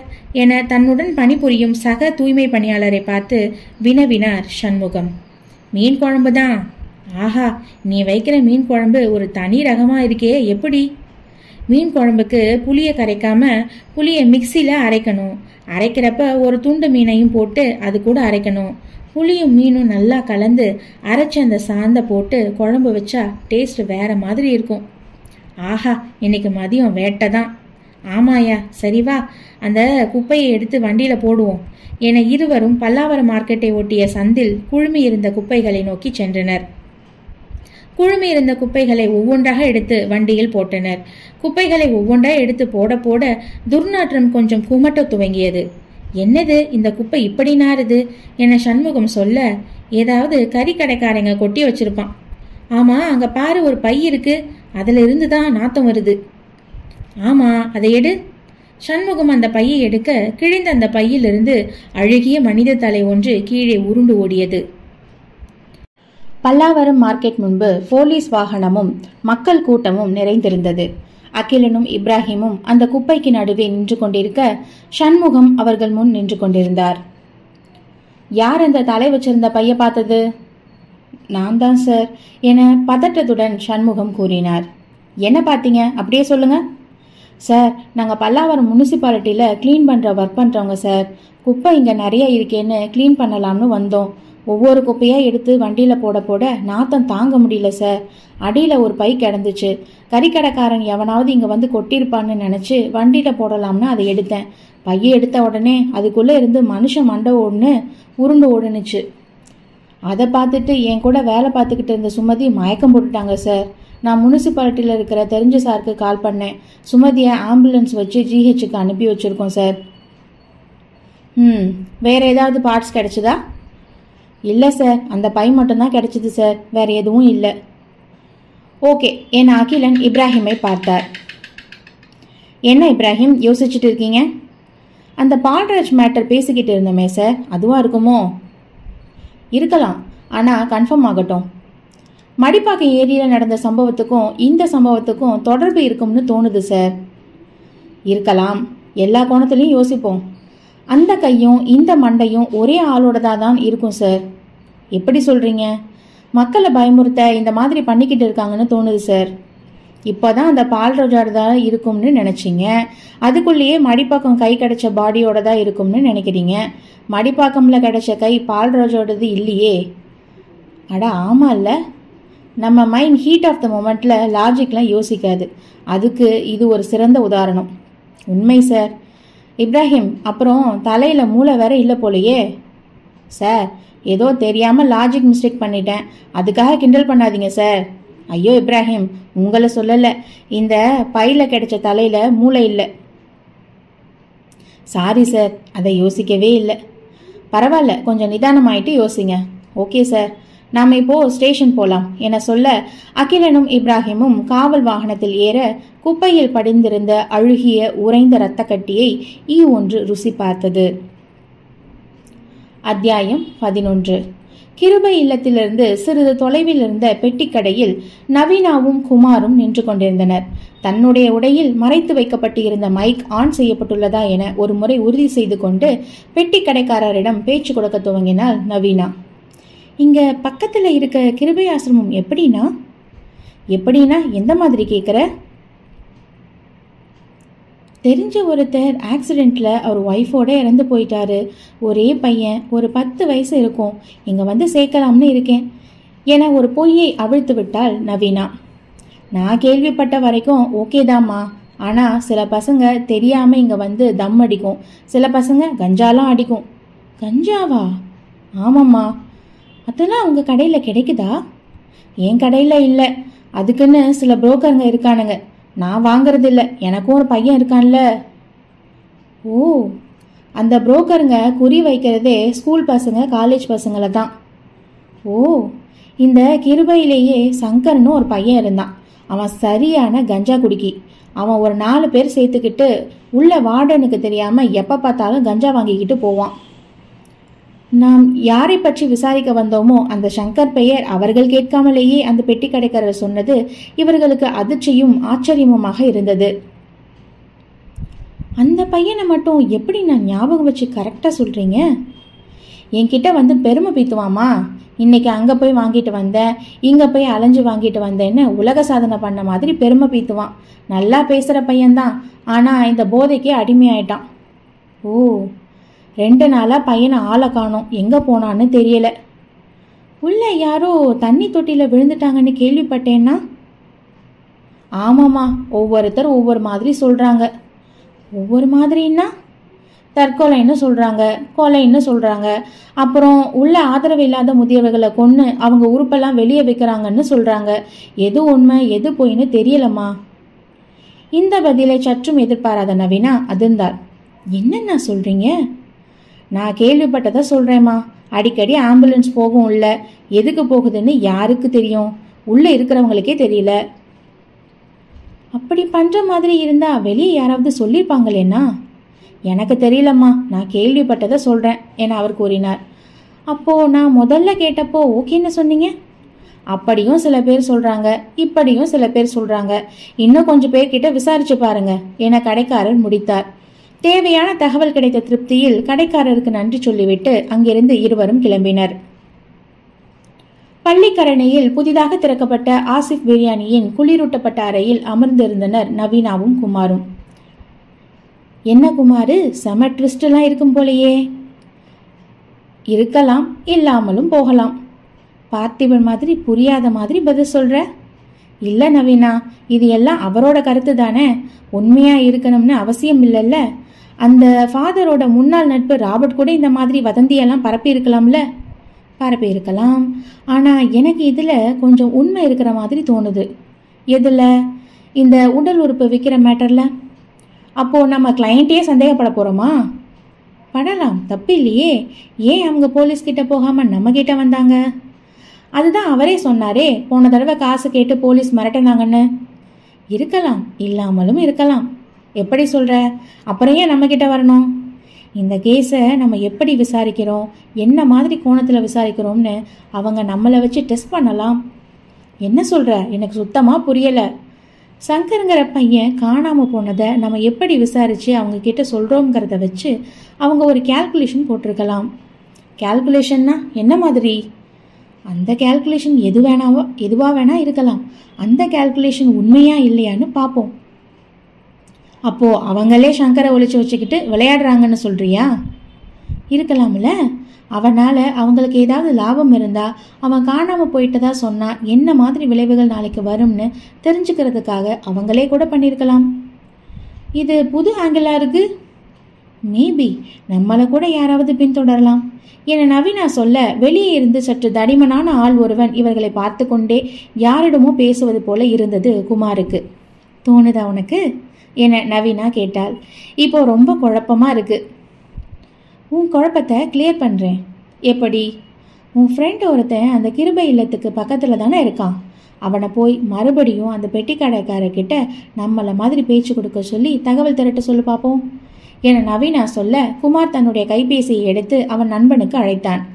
மச்சி அந்த கிருபை இல்லத்துக்கு பக்கத்தில் சேலம் ஆர்ஆர் பிரியாணி கிட்ட ஒரு பெட்டிக்கடை இருக்கும். கொஞ்சம் குட்டையாக நீல கலர் சட்டை போட்டுக்கிட்டு ஒருத்தர் அங்கே இருப்பார். அவர்கிட்ட நான் கேட்குற மாதிரி பேச்சு கொடுத்துட்டு சொல்கிறா என கேட்க வேண்டிய கேள்விகளை விவரித்தான் குமார். அவன் விவரித்து முடித்து கைபேசியை வைக்கவும் பிரியாணி இவர்களுடைய இவர்களுடைய டேபிளுக்கு வரவும் சரியாக இருந்தது. குமார் தன்னுடைய தட்டில் பிரியாணியை கொட்டி கோழியின் காலை கடித்து கொண்டிருக்கையில் அவனுடைய நண்பனிடமிருந்து அழைப்பு வந்தது. மச்சி சொல்றா அதுக்குள்ளே கேட்டு முடிச்சிட்டியா? டேய் இந்த ஏரியாவுக்கு புதுசு அந்த ஹோம் பற்றி ஒன்றும் தெரியாதுன்னு சொல்கிறாருடா என்னடா சொல்கிற அந்த நீல கலர் சட்டை போட்ட கடைக்காரர் கிட்ட தானே கேட்ட? ஆமாடா அவர் ஃபோட்டோ எடுத்து வச்சிருக்கேன். அனுப்புறேன் இரு. என வாட்ஸ்அப்பில் அவனுக்கு அடுத்த நிமிடத்திற்குள் அனுப்பினான். புகைப்படத்தில் இருந்தது இவர்களிடம் பேசிய அதே பெட்டி கடைக்காரர் தான். என்ன நவீனா நம்ம கிட்ட புட்டு புட்டு வச்சுட்டு இப்போ என் ஃப்ரெண்டு கிட்ட ஒன்றும் தெரியாதுன்னு சொல்லியிருக்கான்? அதுக்கு பேரு தான் ட்விஸ்ட் என நவீனா கூறிவிட்டு தனது தட்டில் இருந்த கோழியின் காலை கடித்து இழுத்தாள். எம் பனிரெண்டு. என்ன சார் மடிப்பாக்கம்லையாவது கை தான் கிடைச்சது. ஆனால் நம்ம பக்கம் தலையே கிடைச்சிருக்கு. சென்னையே கொஞ்சம் பதட்டமாயிருக்கு. ஆமாம் இப்ராஹிம் இதை தெளிவாக பிளான் பண்ணி பண்ணியிருக்காங்க. ஒரு பதட்டத்தை உண்டாக்கணும்னு பண்ணின மாதிரி இருக்குது ஆமாம் சார் உங்களுக்கு என்ன தோணுது இப்ராஹிம்? எனக்கு என்ன தோணுதுன்னா பழி வாங்குற நோக்கத்தோட யாரோ பண்ணுறாங்க யாரும் கண்டுபிடிக்காதபடி பண்ணுறாங்க அதனால் இதெல்லாம் திட்டமிட்டபடி தான் நடக்குது சார் பொதுவாக இந்த மாதிரி கொலை பண்ணுறவங்கலாம் ஏதாவது குறியீடு விட்டுட்டு போவாங்கன்னு படத்தில் வரும்ல? அந்த மாதிரி ஏதாவது கிடைச்சிருக்கா நமக்கு? இல்லை நாம் எதுவும் கவனிக்கலையா? கொலை நடந்த இடத்துல இல்லைன்னா பாடி இருக்கிற இடத்துல தான் குறியீடு கிடைக்கும். ஆனால் நமக்கு குறியீடே பாடியோட பார்ட்ஸ் தானே சார் கிடைச்சிருக்கு? அது என்னவோ உண்மைதான் இப்ராஹிம். அந்த பால்ராஜ் மேட்டர்லேயும் எதுவும் கிடைக்கல. இந்த தலையோட போஸ்ட்மார்ட்டம் ரிப்போர்ட் கிடைக்கட்டும். ஏதாவது சிக்குதான்னு பார்ப்போம். மடிப்பாக்கம் இன்ஸ்பெக்டர் இன்ஸ்பெக்டர் கிட்ட நான் பேசுகிறேன் ஓகே சார் இதில் கொஞ்சம் இன்னும் சீரியஸாக இறங்கி பார்ப்போம். தேடுவோம். கண்டிப்பாக சார் இப்போ நம்ம பால்ராஜ் காணாமல் போன இடத்துக்கு போய் பார்ப்போம். கிளம்புங்க. என அகிலன் சொல்ல இருவரும் ஸ்டேஷனை விட்டு கிளம்பினார். பால்ராஜ் கடத்தப்பட்டதாக சொல்லப்பட்ட இடத்திற்கு வந்து நின்றது போலீஸ் வாகனம். வாகனத்திற்குள் இருந்து அகிலனும் இப்ராஹிமும் இறங்கினர். இங்கே தான் கடத்தப்பட்டிருப்பாருன்னு ஒரு வியூகம். ஏன்னா இந்த இடத்துக்கு முன்னாடியும் சிசிடிவி இருக்கு இந்த இடத்துக்கு அப்புறமும் சிசிடிவி இருக்கு. இந்த இடத்துக்கு வர்ற வரைக்கும் சிசிடிவி பதிவு ஆகியிருக்கு ஆனா அதுக்கப்புறம் இவரை காணோம். சிசிடிவிலையும் வரல. அதனால இந்த இடத்துல தான் இவர் காணாம போயிருப்பாருன்னு நினைக்கிறேன் சார். அந்த டைம்ல வந்த வண்டிகள்லாம் ரெண்டு கேமராலையும் தெரிஞ்சுதா? தெரிஞ்சது சார் அந்த சிசிடிவியில் வந்த எல்லா வண்டியும் இந்த சிசிடிவியில் வந்துச்சு சார் அதனால தான் சார் குழப்பம். யாராவது நடந்து வந்து போட்டு தள்ளியிருப்பாங்களான்னு. நடுவில் வேற ஏதாவது வழி இருக்கா? வேற எதுவும் வழி இல்லை சார் இதுக்கப்புறம் இருக்கிற சிசிடிவி கேமராவை தாண்டின உடனே கோவிலம்பாக்கம் உள்ள கட் ஆகிற ஒரு வழி இருக்குது சார் ஓ நான் சிசிடிவி ஃபுட்டேஜ்லாம் பார்க்கணும். எல்லா ஃபுட்டேஜும் வாங்கி வச்சுருக்கேன் சார் ஆஃபீஸில் இருக்குது வேறு யாரும் அந்த டைமில் இல்லையா? இல்லை சார் இங்கே வேற கொஞ்சம் இருட்டான பார்ட் அதனால் யாரும் கவனிக்கலைன்னு சொல்கிறாங்க சார் ம். என யோசித்துக் கொண்டிருந்த அகிலனின் கண்களில் சாலையின் இடதுபுறத்தில் கீழே கிடந்த ஒரு கல்லில் காய்ந்திருந்த இரத்த துளிகள் ஊடுருவின. அத்தியாயம் பதிமூன்று. காவல் நிலையத்தில் இருந்த மடிக்கணினியில் அகிலனும் இப்ராஹிமும் சிசிடிவி காட்சிகளை பார்த்து கொண்டிருந்தனர். எப்படி சார் சொல்றீங்க? பால்ராஜ் கொலை பண்ணியிருப்பாங்கன்னு நாம் நின்ன இடத்துல ஒரு சின்ன கல்லில் ரத்தம் காஞ்சு போயிருந்துச்சு. அந்த கல்லை ஜீப்பில் எடுத்து வச்சிருக்கேன். அதை லேபுக்கு எடுத்துகிட்டு போக சொல்லியிருக்கேன். ஆளுங்க வர்றாங்க. அந்த ரத்தம் கண்டிப்பாக பால்ராஜோட ரத்தமாக தான் இருக்கும். எதை வச்சு சார் சொல்கிறீங்க என்னோட கணிப்பு. பால்ராஜை கடத்திக்கிட்டு போனவங்க கண்டிப்பாக கொண்டு இருப்பாங்க பால்ராஜை கடத்தணும்னு நினச்சிருந்தா மயக்க மருந்து போட்டோ இல்லை உயிரோடையோ கடத்தியிருக்கலாம். ஆனால் அப்படி கடத்தாம மண்டையை பொழந்து ரத்தம் சொட்ட கடத்தின மாதிரி தோணுது. அதனால் கொலை பண்ணுற திட்டம்தான். அந்த ரத்தம் கண்டிப்பாக பால்ராஜோட ரத்தமாக இருந்தால் நீங்கள் சொல்கிறது நடந்திருக்கலாம் சார். ஒருவேளை அது பால்ராஜோட ரத்தம் இல்லைன்னா? இல்லைன்னா அடுத்த கோணத்தை பார்க்க வேண்டியதுதான். என சிசிடிவி காட்சிகளை கூர்ந்து பார்வையிட துவங்கினார் அகிலன். இப்ராஹிம் சொன்னது போல பால்ராஜ் கடத்தப்பட்ட நேரத்தில் அந்த வாகனங்கள் அனைத்தும் இரண்டு சிசிடிவி காட்சிகளிலும் பதிவாகி இருந்தது. என்ன இப்ராஹிம் எதுவும் கிடைக்கலையே? அதுதானே சார் நானும் சொன்னேன். இப்போ இன்னொரு கோணத்தில் யோசிப்போம். எந்த மாதிரி சார்? இப்போ நீங்கள் என்னை கொலை பண்ண திட்டம் போடுறீங்கன்னு வைங்க. என்ன பண்ணுவீங்க? என்ன சார் இது? சும்மா நினச்சிக்கங்க இப்ராஹிம். போலீஸ் கிட்ட மாட்டாத மாதிரி எப்படி கொலை பண்ணுறதுன்னு நினைப்பேன். அடுத்து நீங்கள் கொலை பண்ணுற இடத்துல குறிப்பிட்ட இடைவெளியில் சிசிடிவி இருக்குது என்ன பண்ணுவீங்க? சிசிடிவியில் மாட்டாத மாதிரி பிளான் பண்ணுவேன் சார். எப்படி? போலீஸ் எப்படி யோசிப்பாங்கன்னு யோசிப்பேன் சார். நாம் எப்படி யோசிப்போம்? சிசிடிவியில் எப்படியோ அந்த ஆள் காணாமல் போன கேப்பில் தான் தேடுவோம்.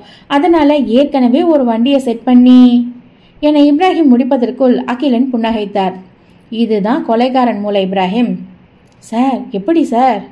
ஒரு நாள் முன்னாடியோ இல்லை பல மணி நேரம் முன்னாடியோ ஏற்கனவே ஒரு வண்டியை அங்கேயே நிற்க வச்சு ஆளை கடத்தி அங்கேயே பல மணி நேரம் நிற்க வச்சுட்டு அதுக்கப்புறம் கிளம்பியிருப்பான். செம்ம சார். நீங்கள் என்ன பண்ணிருங்க? பண்ணியிருக்கீங்கன்னா பால்ராஜ் காணாமல் போனதை நம்ம முன்னையே பேசின மாதிரி சாதாரணமாக எடுத்துக்கிட்டு காணாமல் போன டைமில் மட்டும் சிசிடிவியை பார்த்துருக்கீங்க. ஆனால் இப்போ முன்னாடி நாளில் இருந்து அடுத்த நாள் நீங்கள் போன வரைக்கும் இருக்கிற எல்லா ஃபுட்டேஜும் பாருங்கள் கண்டிப்பாக மாட்டுவான். செம்ம சார் நம்ம எப்படி யோசிப்போம்? எதை சாதாரண கேஸாக இருக்கும்? எது முக்கியமான கேஸாக மாறும்னு நமக்கு தெரிய தெரியாதுங்கிற வரைக்கும் கொலைக்காரன் யோசிச்சிருக்கான். ஆமாம் சார். அதை தாண்டி பால்ராஜ் பற்றி நமக்கு கிடைச்ச விஷயங்கள் எதுவும் அவருக்கு அந்த அளவுக்கு எதிரிகள் இருக்கிற மாதிரி தெரியல தானே? ஆமாம் சார். கொலை பண்ணுற அளவுக்கோ கடத்துகிற அளவுக்கோ அவருக்கு எதிரிங்க இல்லை. யாரும் கூடவும் சண்டை போடுற கேரக்டரும் இல்லைன்னு தான் எல்லாரும் சொன்னாங்க. ம் யோசிப்போம் இப்ராஹிம். Okay sir. நான் போய் எல்லா ஃபுட்டேஜும் வாங்கி பார்க்க ஆரம்பிக்கிறேன். என இப்ராஹிம் வெளியேற அகிலன் கண் இமைகளை மூடி யோசனைகளை உலாவ விட்டார். அத்தியாயம் பதினான்கு. அடுத்த கட்ட நடவடிக்கை என்ன நவீனா? என குழம்பி போயிருந்த குமார் நவீனாவிடம் கேட்டான். இப்போ நம்ம ஃபாதர் நம்ம கிட்ட சொன்னதெல்லாம் உண்மையானு தெரிஞ்சுக்க அவங்க ஹோம்ல வேலை பார்க்குற சமையல்காரரை போய் பார்க்க போறோம். சமையல்காரரா? ஆமாம் சமையல்காரர்னா உள்ள மெஸ்ஸுக்கு சமையல் பண்ணி எல்லாருக்கும் பரிமாறுறவர். அவரை எதுக்கு இப்போ பார்க்க போகிறோம் நம்ம காலேஜ் படிக்கிறப்போ நமக்கு நடக்கிற விஷயங்களெல்லாம் கிளாஸ் முடிஞ்ச உடனே எங்கே போய் பேசுவோம்? சாப்பிட்ற இடத்துல லைக் கேன்டீன் டீ கடை ஹாஸ்டல் மெஸ் அதான். அங்கே இருக்கிறது ஒரே மெஸ் மட்டும்தான். அங்கே உள்ளே நடக்கிற விஷயங்கள்லாம் எல்லாரும் சாப்பிடும்போது தான் டிஸ்கஸ் பண்ணுவாங்க. அதனால் மிஸ் மெயின்டைன் பண்ணுறவர் எல்லாத்தையும் கேட்டிருப்பார். அவருக்கு ஓரளவுக்கு தெரிஞ்சிருக்கும். ஆஹா செம. அவர் வீடு எங்கே இருக்குது கைவேலி. மாலை ஆறு மணி. கைவேலி குப்புசாமி தெருவிற்குள் நவீனாவும் குமாரும் நுழைந்து கொண்டிருந்தனர். அங்கே சிறிய குறுக்கு சந்தின் எல்லையில் அமைந்திருந்த கிருப இல்லத்தின் சமையல்காரர் அண்ணாதுரை வீட்டின் கதவை தட்டினர். ஒரு அறுபது வயது மதிக்கத்தக்க நபர் கதவை திறந்தார். யாருங்க வேணும் அண்ணாதுரை? நான் தான் நாங்கள் யூடியூப்ல இருந்து வர்றோம்னா சமையல்காரர்கள் பற்றி ஒரு குறுப்படம் எடுக்கிறோம். உங்கள் அனுபவங்களை பற்றி எங்களுக்கு சொன்னீங்கன்னா நல்லா இருக்கும். என் ஃப்ரெண்டு உங்கள் நம்பர் தந்தாங்க. ஓ என்ன சொல்லணும்னா? எனக்கு ஒன்றும் தெரியாதுங்க. பயப்பட வேணாம்னா உங்களுக்கு தெரிஞ்சதை சொல்லுங்க. போதும். சரி ஒரே நிமிஷம் துணி மாற்றிட்டு வரேன். வெளியில் திண்ணையில் வச்சுக்கலாம். உள்ள வீடு கச்சா முச்சான்னு இருக்கும். சரி வாங்கண்ணா. என நவீனாவும் குமாரும் வெளியே இருந்த திண்ணையில் அமர்ந்தனர். சிறிது நேரத்தில் அண்ணாதுரை வெளியே வந்தார். இப்படி உட்காருங்கண்ணா என நவீனா சொல்ல அந்த இடத்தில் அமர்ந்தார் அண்ணாதுரை. போலாமா? என கேமராவை அமுக்கியபடி குமார் கேட்க போலாம் என்பது போல தலையசைத்தாள் நவீனா. உங்க பேர் என்ன? அண்ணாதுரைம்மா எத்தனை வருஷமா சமையல் வேலை பார்க்குறீங்க? கிட்டத்தட்ட முப்பத்தி முப்பத்தி அஞ்சு வருஷமா வேலை பார்க்குறேன். முத முதல்ல சமையல் எங்கே கற்றுக்கிட்டீங்க கல்யாண வீட்டில் பந்தல் போடுற வேலையில் கூலியாக வேலை பார்த்துட்டு இருந்தேன். ஒரு நாள் சமையல் செய்கிற ஆளில் ரெண்டு பேர் வரலன்னு என்னை காய்கறி நறுக்க கூப்பிட்டாங்க. எனக்கு பிடிச்சி போச்சு. அப்படியே சமையல்லையே இருந்து கற்றுக்கிட்டேன் சூப்பர்ண்ணா. என்ன டிஷ் ஸ்பெஷலாக செய்வீங்க? நாம மட்டன் பிரியாணி தான். இவ என்ன? கிரைம் சேனலுக்கு கண்டென்ட் பண்ணுற மாதிரி தெரியலையே. சமையல் சேனலுக்கு கண்டென்ட் எடுக்கிற மாதிரி இருக்கு. என குமார் மனதிற்குள் நினைத்து கொண்டான். எத்தனை பேருக்கு ஒரு டைமில் உங்களால் சமைக்க முடியும்? ஐயாயிரம் பேருக்கு என்னால் ஒரே டைமில் சமைக்க முடியும். செம்மண்ணா. இப்போ எங்கே வேலை பார்க்குறீங்க? நான் கிருபை இல்லத்தில் சமையல் வேலை பார்க்குறேம்மா. அங்கே எத்தனை பேர் என்ன இருக்காங்க? இரநூத்தி முப்பது பேருமா. என முழுக்க முழுக்க சமையல் பற்றி மட்டுமே கேள்விகளை கேட்டு நேர்காணலை முடித்தாள் நவீனா. இன்னைக்கு நாம பார்த்த சமையல் கலைஞர் அண்ணாதுரை அண்ணன் அவர்கள். இந்த வீடியோ உங்களுக்கு பிடிச்சிருக்கும்னு நம்புறேன். இது போல சிறந்த வீடியோக்கள் பார்க்கணும்னா மறக்காம சப்ஸ்கிரைப் பண்ணுங்க. என நேர்காணலை முடித்தால் நவீனா. ரொம்ப நன்றிண்ணா. குமார் கேமராவை ஆஃப் பண்ணுங்க. என வாயில் கூறிவிட்டு சைகையில் தொடரச் சொன்னால் நவீனா. அண்ணா எனக்கு கொஞ்சம் தகவல் தேவைப்படுது. எதை பற்றிமா அடுத்து ஆர்ஃபனேஜ் பற்றிலாம் வீடியோ பண்ண போகிறோம் நீங்கள் ஒர்க் பண்ணுற ஆர்ஃபனேஜ் நல்லா இருக்குமா? ரொம்ப நல்லா இருக்குமா? எங்கண்ணா இருக்குது பள்ளிக்கரணை பக்கத்தில் ஆஷிப் பிரியாணி தாண்டி. ஓ அந்த ஆர்ஃபனேஜா? ஆமாம்மா. அந்த ஓம் பற்றி வெளியே ஏதேதோ பேசிக்கிறாங்களேண்ணா என்ன பேசிப்பானுங்க? கொலை பண்ணிட்டாங்க ஆம்புலன்ஸ் வருது பசங்க கஞ்சா அடிக்கிறானுங்க இப்படி தானே பேசிப்பானுங்க? என்னை கோபத்துடன் பேச ஆரம்பித்தார் அண்ணாதுரை. என்னண்ணா டென்ஷன் ஆயிட்டீங்க? ஆமாம்மா. இப்போது எங்கள் ஆர்ஃபனேஜ் ஹெட்டு சாமுவேல் சார் ரொம்ப நல்லவர். அவரும் அவரோட ஃப்ரெண்டு ராபர்ட்டும் சேர்ந்து இதை ஆரம்பித்தாங்க நடுவில் ரெண்டு பேருக்குள்ளேயும் சண்டை. மெஸ்ஸில் வச்சு தான் ரெண்டு பேரும் சண்டை போட்டுக்கிட்டாங்க. அதனால எனக்கு தெரியும். சாமுவேல் நல்ல மனுஷன். ஆனால் ராபர்ட் காசு வெறி பிடிச்சவன். அந்த இடத்துக்கு வெளியில இருந்து வர காசுல பசங்க வயசானவங்களுக்கு செலவு பண்ணாம எல்லாத்தையும் அவனே அமுக்கிக்கணும்னு நினைச்சு வேலை பார்த்தான். சாமுவேல் திட்டிப்புட்டாரு. கோர்ட்டில் கேஸ் போட்டு ஜெயிச்சிட்டாரு சாமுவேல் சார். அதனால ராபர்ட் வெளியே வந்து காசை கொடுத்து அந்த இடத்த பத்தி தப்பு தப்பா வதந்தி பரப்பு விட்டுட்டான். ஓ அப்புறம் அந்த கஞ்சா பத்தினா அது உண்மைதாம்மா. பசங்க வெளியே எங்கேயோ பழகிக்கிட்டானுங்க. அப்புறம்? அது எப்படியோ சாமுவேல் சாருக்கு தெரிஞ்சு ரெண்டு பசங்களை போட்டு வெளுத்து விட்டுட்டாரு. அதில் ஒரு பையன் கோச்சிக்கிட்டு வெளியே போயிட்டான்னு சொல்கிறாங்க ஓ ஆமாம்மா. அது நல்ல இடம்தாம்மா. வதந்திலாம் நம்பாத. நாங்கள் எட்டு வருஷம் வேலை பார்க்குறேன். எனக்கு எல்லாம் தெரியும். புரியுதுண்ணா. அப்போது முதல்ல அந்த ஹோம் பற்றியே எடுக்கிறேன். நன்றிம்மா. சரிங்கண்ணா நாங்கள் போயிட்டு வர்றோம். இருந்து சாப்பிட்டு போங்க. இன்னொரு நாள் வர்றோம்னா அந்த ஹோம் பற்றி வீடியோ எடுக்க வருவோம். அப்போ உங்கள் கையில் தான் சாப்பாடு. வர்றப்போ சொல்லுங்கள் மட்டன் பிரியாணி செஞ்சு வைக்கிறேன். கண்டிப்பாண்ணா நாங்களும் அதுக்கு காத்துக்கிட்டே இருக்கோம். வர்றோம்னா என அவரிடம் விடைபெற்று கொண்டு கிளம்பிய நவீனா சிக்கலான நூற்கட்டில் சிறிய முடிச்சை அவிழ்த்தது போல உணர்ந்தாள். அத்தியாயம் பதினைந்து. சார் எல்லா ஃபுட்டேஜும் எடுத்து பார்த்துட்டேன் சார். ஆட்டோ ஒன்று நான் போகிறதுக்கு முன்னாடி கிளம்பிருக்கு சார். அந்த இடத்துல இருந்து. சிறப்பு. அந்த ஆட்டோ நம்பரை நோட் பண்ணி கொலை பண்ண கண்டுபிடிங்க. சார் உங்களுக்கு தெரியாத சட்டம் ஒன்றும் இல்லை. கொலை பண்ணுறவன் எப்படி சார் ஒரிஜினல் நம்பர் வச்சுட்டு ஓட்டுவான்? குட் அந்த ஆட்டோக்கான அங்க அடையாளங்கள் ஏதாவது ஒன்று கண்டிப்பாக இருக்கும். அதை கண்டுபிடிங்க. கருப்பு வெள்ளை படம்னால எதுவும் கண்டுபிடிக்க முடியல சார். இருந்தாலும் முயற்சி பண்ணுறேன் சார். அந்த ஃபுட்டேஜை எனக்கு அனுப்புங்க நான் சொல்கிறேன் ஓகே சார் என தன்னுடைய கைபேசியிலிருந்து காட்சிகளை அகிலனுக்கு அனுப்பினார் இப்ராஹிம். தனக்கு வந்த அந்த காட்சியை உற்று நோக்கினார் அகிலன். மற்ற ஆட்டோக்களைப் போல அந்த ஆட்டோவும் மெதுவாக ஊர்ந்து சென்றது. ஆட்டோ முன்பகுதி மட்டுமே தெரிந்தது. மீதி அனைத்து பக்கங்களும் கருப்பு நிற துணியால் மூடப்பட்டிருந்தது. முன்பக்கத்தில் எழுதியிருந்த சில எழுத்துக்கள் மிகவும் மங்கலாக தெரிந்தன. என்ன எழுத்து என்று தெரியவில்லை. இருந்தாலும் அந்த மங்கலான எழுத்துக்களை நினைவில் பதிவு செய்து கொண்டார் அகிலன். என்ன சார்? ஏதாவது கிடைச்சதா? எல்லாமே மங்கலாக தெரியுது. ஆமாம் சார். மடிப்பாக்கம் இன்ஸ்பெக்டர் ஏதாவது சொன்னாரா சார்? அந்த கை வெட்டப்பட்டது இந்த மாதம் ஒன்றாம் தேதியாக இருக்கலாம்னு சொல்கிறாரு மற்றபடி வேற எதுவும் சொல்லலை. Okay sir. Pallavaram bus stop கிட்டே கிடைச்ச தலை கேஸோட போஸ்ட்மார்ட்டம் ரிப்போர்ட் எப்போ கிடைக்கும்? நாளைக்கு வந்துடும். Super sir. அதை வச்சு ஏதாவது கண்டுபிடிச்சிடலாம். பிடிக்கலாம். பிடிக்கணும்.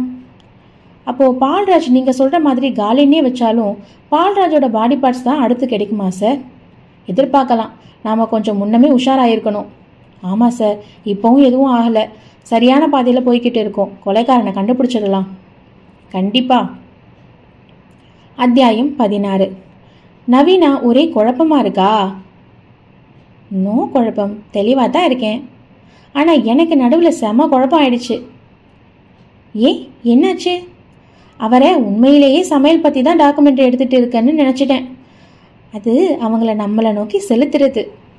அப்படின்னா இப்போது போன உடனே அந்த ஹோம் பற்றி கேட்டிருந்தா சொல்லியிருப்பாரா? இல்லை. பயந்து நம்மக்கிட்டேயே பேசியிருக்க மாட்டார். அதனால் அவருக்கு பிடிச்ச சமையல் பற்றி பேசி அதை அவருக்குள்ளே ஊடுருவ வச்சு அதுக்கப்புறம் நமக்கு தேவையானதை கறக்கணும். செம. எனக்கு அப்புறம் தான் புரிஞ்சுது. நம்ம கேட்காமலே நமக்கு தேவையானதை சொல்லிட்டாப்ல ஆமாம் அவர் சொன்னது உண்மையாக இருக்குமா? உண்மையாக தான் இருக்கும். அப்போது அந்த பெட்டி கடைக்காரன் சொன்னது? அது பொய்யா இருக்கலாம். எப்படி சொல்கிற சமையல்காரக்காரு பல வருஷமாக உள்ளே இருந்து கண்ணால் பார்த்தவர். ஆனால் பெட்டி கடைக்காரரு மற்றவங்க சொல்கிறத கேட்டவர். அதனால் சமையல்காரர் சொன்னதில் உண்மை இருக்கும்னு நம்புகிறேன் ஆனால் ரெண்டு பேரும் சொன்னதுலேயும் பொதுவான ஒரு உண்மை இருக்குல்ல? ஆமாம் நமக்கு தேவையான உண்மை. அந்த சங்கர் விஷயம். அவன் போதைக்கு அடிமையானவன். அவனை சாமுவேல் ஃபாதர் கண்டிச்சதால கோவிச்சுக்கிட்டு வெளியே போயிருக்கான். அதை சாதகமாக பயன்படுத்த ராபர்ட்டுக்கு வாய்ப்பு இருக்கு. அதனால தான் சாமுவேல் பயப்படுறாரு. கரெக்டு இப்போ என்ன பண்ண போறோம்னா சங்கர் உண்மையிலேயே ராபர்ட் கிட்ட தான் இருக்கானான்னு கண்டுபிடிக்க போறோம். எப்படி? அந்த நம்பருக்கு கால் பண்ணு. என நவீனா எண்களை சொல்ல குமார் ஒவ்வொரு எண்களாக தட்டினான். கால் பண்ணு. அழுத்தி எண்களிலிருந்து அலைவரிசையோடு சேர்ந்து எதிர்முனையை அடைந்தது. நவீனா தான் எழுதி வைத்திருந்த வசனங்களை குமாரிடம் விவரித்தாள். ஹலோ ராபர்ட்டா? ஆமாம் நீங்கள் நான் யாருங்கிறது இருக்கட்டும். கிருபை இல்லத்தில் இருந்து சங்கருங்கிற மாணவனை நீ கடத்தி வச்சிருக்கன்னு தெரியும். எங்கே வச்சிருக்க? டே கேன டேஷ். எத்தனை பேடா இப்படி கால் பண்ணி டார்ச்சர் பண்ணுவீங்க? போன வைடா மட டேஷ். என கால் துண்டிக்கப்பட்டது. ஸ்பீக்கரில் கேட்டுக்கொண்டிருந்த நவீனா விழுந்து விழுந்து சிரிக்க ஆரம்பித்தாள். என்ன செம பாராட்டா? நீ வேற ஏற்கனவே இந்த மாதிரி ஃபோன் பண்ணி கேட்டிருக்காங்க போலையே. அது எனக்கு தெரியும். ஆச்சரியத்துடன் நவீனாவை பார்த்த குமார் எப்படி?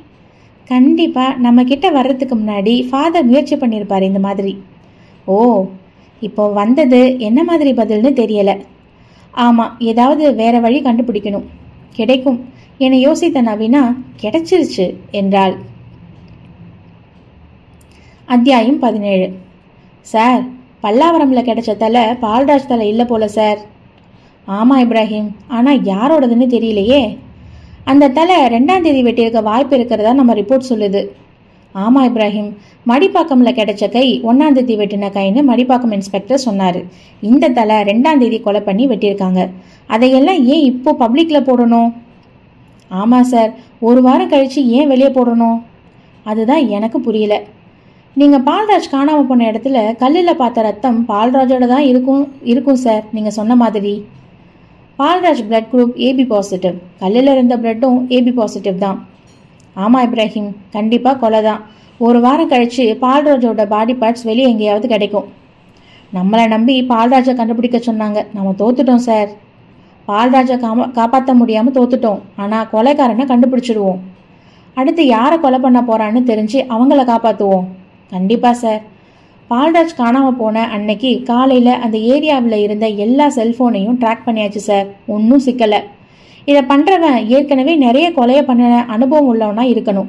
நம்ம மூளையை தெரிஞ்சு வச்சவனாக இருக்கணும். ஆமாம் சார். என்ன மோட்டிவில் பண்ணுறான்னு தெரியலை. அது தெரிஞ்சாலாவது ஏதாவது கண்டுபிடிக்கலாம். என்ன சீரியஸில் பண்ணுறான்னு தெரியலை. பேட்டர்ன் எதுவுமே புலப்படலை சார். ஆனால் அவன் மறைஞ்செல்லாம் இல்லை. நம்ம கண்ணு முன்னாடி தான் இயல்பாக தான் இருக்கான். எப்படி சார் சொல்கிறீங்க ஒரு கணிப்பு தான். உங்கள் கணிப்பு உண்மையாக இருக்கணும் சார். கூடிய சீக்கிரமே மாட்டுவான். ஆமாம் சார். பல்லாவரம் ரயில்வே டிராக்கை ஒட்டிய புதர் மறைவில் துரை அவனுடன் அமர்ந்திருந்த ராம் மற்றும் இரண்டு பேருக்கு உரையாற்றி கொண்டிருந்தான்.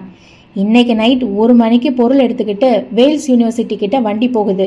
அந்த டைம்ல நான் ஆட்டோக்குள்ள இருந்து பொருளெல்லாம் எடுத்துட்டு வர்றேன். நீங்களும் அங்கங்க மறைஞ்சு இருங்க.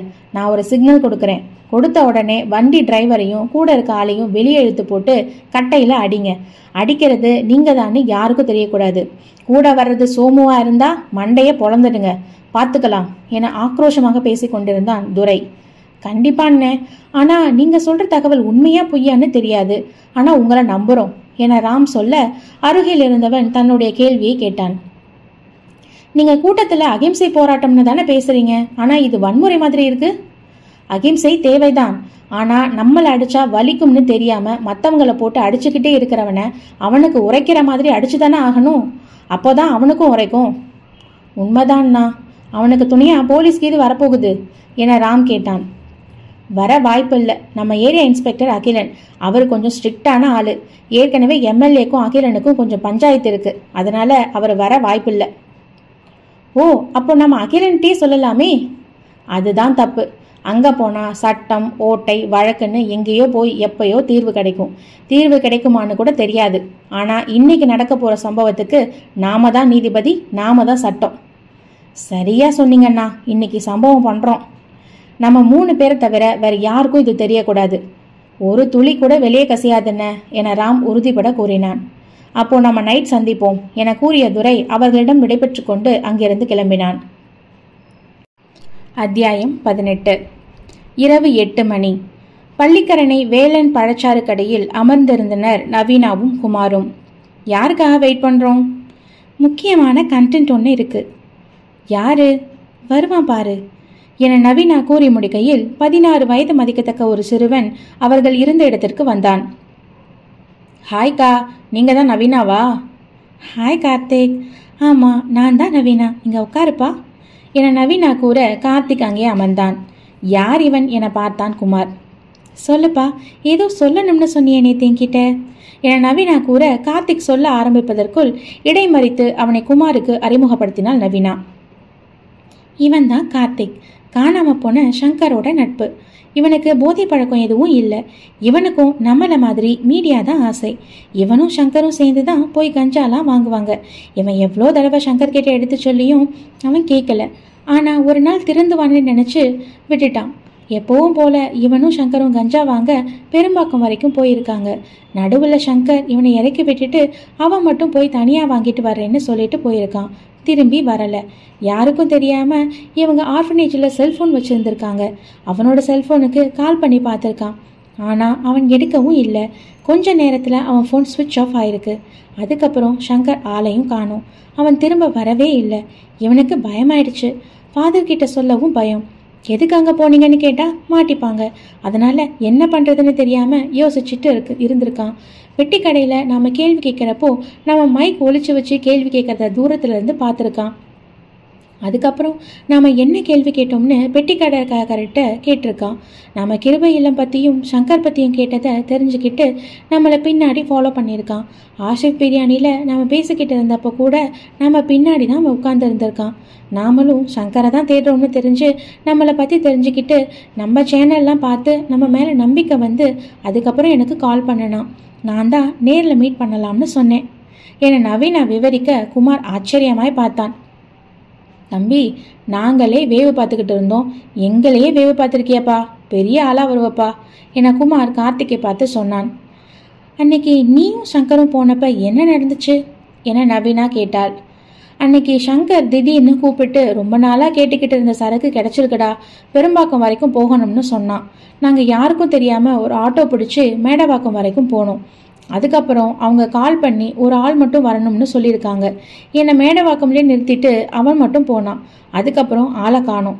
ஃபோன் ஸ்விட்ச் ஆஃப் எனக்கு ரெண்டு டவுட் இருக்கு. ரெண்டு டவுட்டா ஆமாம் ஒன்று கால் பண்ணி வர சொன்னவங்க. இன்னொன்று நாங்கள் போன ஆட்டோ டிரைவர் ஆட்டோ டிரைவரா ஆமாம் நாங்கள் போன ஆட்டோவோட டிரைவர் நாங்கள் கஞ்சா பற்றி பேசினதை ரொம்ப உன்னிப்பாக கவனிச்சாரு. அதுக்கப்புறம் அவர் எங்களையே தான் உத்து உத்து பார்த்துக்கிட்டு இருந்தார். அவர் எங்களை திட்டுனாரு. படிக்கிற வயசில் ஏன் இப்படி பண்ணுறீங்கன்னு கேட்டாப்புல. அவர் மேலே ஒரு சந்தேகம் இருக்குது இது பொதுவாக எல்லாரும் கேட்குற கேள்விதானே? இதில் என்ன சந்தேகப்படுற மாதிரி இருக்குது நாங்கள் பேசுகிறத கேட்டுட்டு அவர் யாருக்கும் கால் பண்ணி கோட் வேர்டில் பேசி அவர் போய்கிட்டு இருக்க லொக்கேஷன்லாம் சொன்னார். ஓ அப்போது எனக்கு எதுவும் பெருசாக சந்தேகம் வரல. வீட்டில் எங்கே போய்கிட்டு இருக்கேன்னு சொல்கிறாருன்னு நினச்சேன். ஆனால் சங்கர் காணாமல் போன பின்னாடி யோசிச்சப்ப தான் அவர் அப்படி பேசுனது சந்தேகம் வருது. கரெக்ட் அந்த ஆட்டோ நம்பர் ஞாபகம் இருக்கா? அதெல்லாம் ஞாபகம் வச்சுக்கலக்கா. எவ்வளோ யோசிச்சு வைக்கிற ஆள் அதை நோட் பண்ணாமல் விட்டுட்டியப்பா என குமார் கேட்டான். எனக்கு இப்படி நடக்கும்னு தெரியாதுல்லண்ணா. இதுவும் கரெக்டு தான். ஆனால் அந்த ஆட்டோவில் பிஸான்னு எழுதி நாம மாதிரி படம் இருந்துச்சு. என்னது பிஸாவா ஆமாம் அது நல்ல ஞாபகம் இருக்கு. சிறப்பு. டிரைவர் ஆள் எப்படி இருந்தான்? என நவீனா கேட்டாள். ஒரு முப்பது வயசு இருக்கும். தாடி வச்சிருந்தாப்புல. நல்ல சிவப்பான நிறம். இது போதும் பிடிச்சிடலாம். அவரை வேற எங்கேயோ பார்த்த மாதிரியும் இருக்கு. வேற எங்கேயோவா? ஆமாக்கா. ஆனால் எங்கன்னு சரியாக ஞாபகம் வரல. நீ இப்போதைக்கு கொடுத்த தகவலே போதுமானதுப்பா. நாங்கள் பார்த்துக்குறோம் சங்கரை கண்டுபிடிச்சிடலாம்லக்கா என ஏக்கத்துடன் கேட்டான் கார்த்திக். கண்டிப்பாக பிடிச்சிடலாம்ப்பா. திரும்ப அவன் வந்தப்புறம் அவனை கண்டிப்பாக நான் திருத்திடுவேன் என கார்த்திக் அழுத்தமாக கூறினான். இதுக்காகவே அவனை கண்டுபிடிக்கிறோம் என நவீனா உறுதியளிக்க குமார் சிலவற்றை சிந்திக்க துவங்கினான். அதையும் தொடர்ச்சியை அடுத்த காணொளியில் பார்ப்போம். இந்த கதை உங்களுக்கு பிடிச்சிருந்ததுன்னா மறக்காமல் லைக் பண்ணுங்கள் கமெண்ட் பண்ணுங்கள் உங்கள் ஃப்ரெண்ட்ஸ் அண்ட் ஃபேமிலிஸோட ஷேர் பண்ணிக்கோங்க. இதே மாதிரி கதைகளை தொடர்ந்து கேட்க கதை வாசிப்போம் சேனலை மறக்காமல் சப்ஸ்கிரைப் பண்ணுங்கள்